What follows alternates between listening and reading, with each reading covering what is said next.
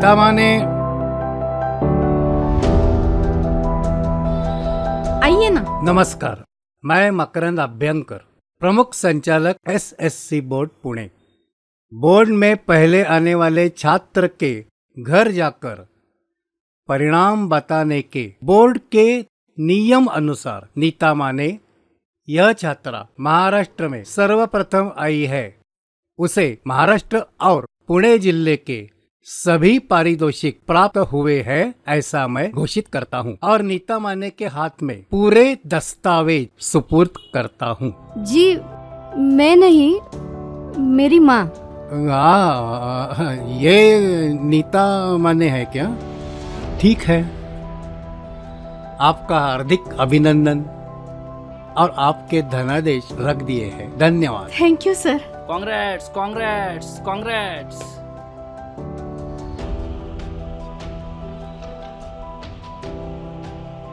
हमें गर्व है। आगे बढ़ो। हमें मतलब हम सबको। हाँ हमारी वार्ड की नीता शिवराम माने। ये बराबर है ना? हाँ। नीता शिवराम माने एसएससी बोर्ड की परीक्षा में डायरेक्ट बोर्ड में पहले आई। एसएससी सी सी सी अरे वही बार बार शीशी मत करो। हाँ। हाँ तो अपने वार्ड की हाँ। नीता माने। हाँ। बोर्ड में डायरेक्ट पहले आई है। का बार बार अभिनंदन हाँ। तालियाँ बजाओ तालियाँ बजाओ। अरे तालिया क्यों? फटाके फोड़ो फटाके। क्रैकर्स क्रैकर्स तो खैर शिवराम माने की पत्नी।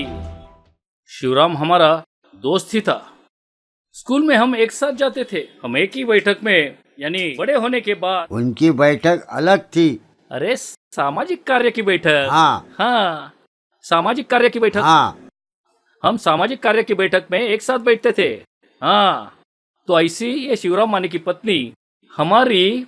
भाभी भाभी हो। अरे हाँ वही भाभी आपकी भाभी। हाँ तो भाभी आपका बार बार ज़ोर से अभिनंदन। हाँ। तालियाँ बजाओ तालियाँ बजाओ। तालियाँ क्यों? फ़ोटो निकालो फ़ोटो। आगे दूसरा कार्यक्रम को जाना है। अगला कार्यक्रम दहन का है। धीरे बोलिए। ठीक है ठीक है। हाँ। गाड़ी निकालो। हाँ। इसकी बात दिल पर मत लेना। ठीक है? आते हैं हम। थैंक यू अच्छा।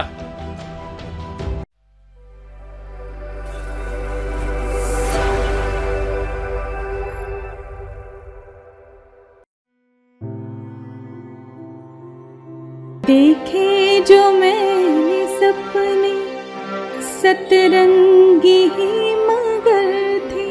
देखे जो मैंने सपने सतरंगी मगर थे। मन ही ना क्यों समझे? वो अंतरंगी थे। नमस्कार। आर्यन समाचार की ओर से हम असाधारण सफलता प्राप्त किए हुए लोगों की मुलाकात लेते रहते हैं। आज हमारे साथ है नीता माने। यह मेरिट में पहली आई है। नीता मैडम, सबसे पहले आपका अभिनंदन। थैंक यू अ, मुझे बताइए इस सफलता का श्रेय आप किसे देना पसंद करेगी? मतलब? अ, मतलब आपके माता पिता सास ससुर परिवार दोस्त या गुरु क्लास टीचर? हाँ। मेरे माता पिता तो कब के चल बसे और सासू माँ अनपढ़। पति भी गुजर गए। बेटी कहो तो वो भी छोटी है अभी। किसी का कुछ मार्गदर्शन नहीं मिला मुझे। और क्लास को तो मैं कभी गई ही नहीं बाहर से परीक्षा दी। इसलिए श्रेय ऐसा किसी को नहीं है। श्रेय कहोगे तो खुद मेरा ही है। ऐसे कैसे? मतलब आपको किसी ने तो मदद की होगी ना? हम्म, मेरे हिसाब से परीक्षा टीम वर्क तो नहीं है। वो एक इंडिविजुअल एक्टिविटी है। आ, हाँ बराबर है। लेकिन इसमें आपके बहुत परिश्रम होंगे ना? नहीं क्या? हमें थोड़ा बताइए ना। नहीं मतलब आपने पढ़ाई कैसे की या परिश्रम कैसे लिए? थोड़ा जरा विस्तार से बताइए ना। ठीक से सुनने में अच्छा लगेगा। हाँ मतलब देखिए मैं और मेरी बेटी एक साथ ही दसवीं में बैठे। उसी की किताबें इस्तेमाल करके हम दोनों ने एक साथ पढ़ाई की। लेकिन फिर उसका तरीका अलग मेरा तरीका अलग। बाद में मैंने खुद अपनी पढ़ाई शुरू की। और जैसे जैसे मैं पढ़ाई करती गई वैसे मुझे धीरे धीरे अपने सवालों के जवाब मिलते गए। मैं खुद को जानने लगी। और रिज़ल्ट आपके सामने है। वाह वाह। सुंदर बहुत सुंदर वर्णन किया आपने। ठीक है मुझे एक बात बताइए आगे क्या प्लान है आपके? अब आगे नौकरी संभाल के कॉलेज करूँगी। अरे वाह वाह सुंदर। अ, एक एक बात रह गई। आपकी बेटी अ, मेधा। हाँ मेधा मेधा। वो भी इस परीक्षा में मेरिट में 24 आई है ना? हो हो। उसका भी हमें अभिनंदन करना है। कहाँ है वो? जरा बुलाइए ना। अ, मेधा?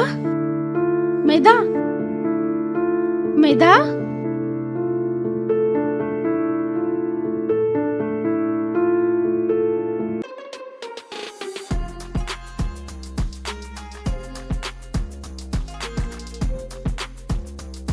आइटम रहने दो रहने दो एडमिशन का देख लो। हमारे लिए कुछ तो रखो। सीनियर है ना हम? लेकिन हमारी तरफ़ भी देखो जरा। कितने साल आपको ही देखना होगा। तीन चार साल हुए हम तो भूखे ही है। जाओ सीखने पर ध्यान दो। पाओ क्या बिल्डिंग है? गार्डन भी कितना सुंदर है। कैंटीन भी कितना सुंदर है। सच में? हाँ हाँ। मस्त है। ठीक है ना। हम थोड़ी ही यहाँ रुकने वाले। पहले ऑफ़िस में चलते। एडमिशन लेनी है ना? हाँ हाँ। चलो। ए लड़कियों क्या चाहिए तुम्हें? Sir Admission. एडमिशन एडमिशन मुझे भी एडमिशन ही लेनी है। तो फिर वहाँ लाइन में जाकर रुको। ठीक है सर। ए, रहने दो रहने दो। मिल जाएगा आपको भी एडमिशन चिंता मत करो। अरे यार हम तो यही है तीन साल हुए। एडमिशन का क्या देखते हो हमारे? हमें एडमिशन चाहिए। अरे लाइन में अनुशासन है कि नहीं?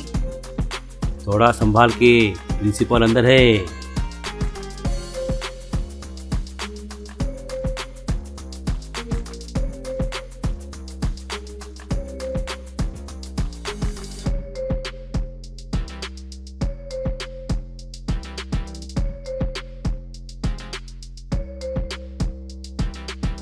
ये नीता मैडम है।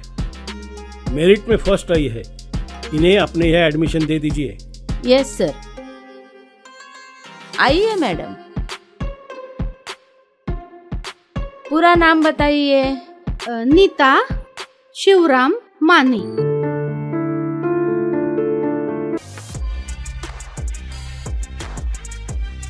कंपनी ने उसे देर से आने की परमिशन दी है। मेरिट में आई है कंपनी का नाम हो रहा है।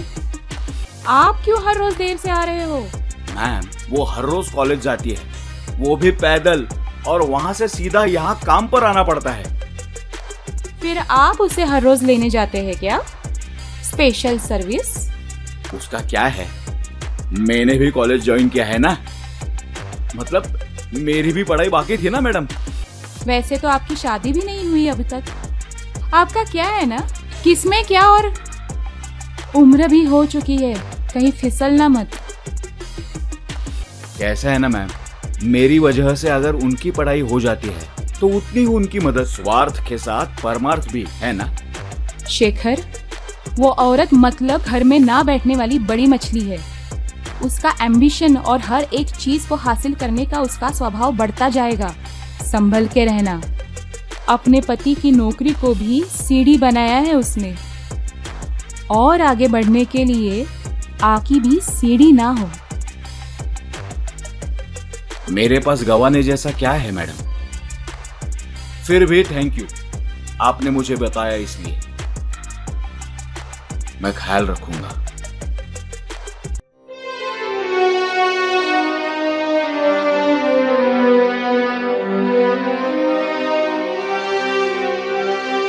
देखे जो मैंने सपने, देखे जो मैंने सपने, सतरंगी ही मगर थे।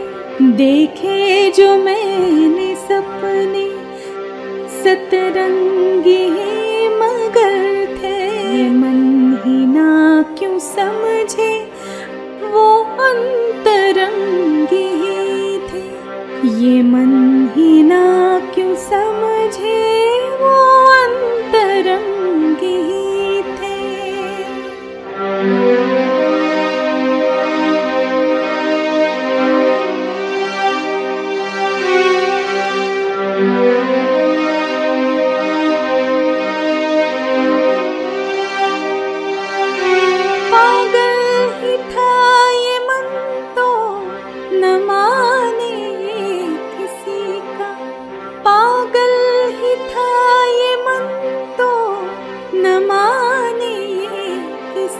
का खुद में ही खो गए वो सतरंगी ही।